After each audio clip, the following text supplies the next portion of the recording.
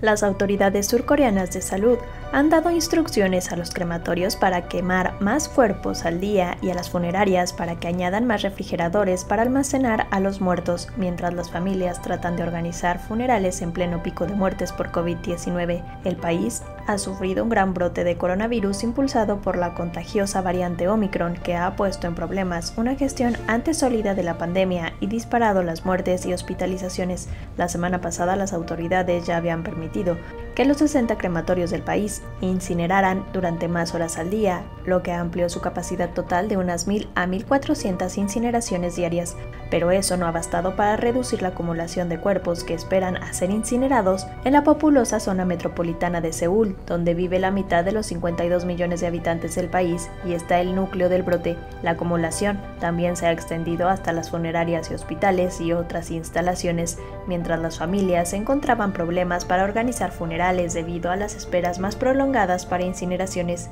Las autoridades darán instrucciones a los crematorios regionales para que aumenten las operaciones de 5 a 7 días a la semana, según dijo el funcionario del Ministerio de Salud, Son Jung-rae. El país reportó el martes 384 nuevas muertes por COVID-19, el sexto día seguido con más de 300, incluido un récord de 429 el jueves. El número de pacientes del virus en estado grave o crítico era de 1104.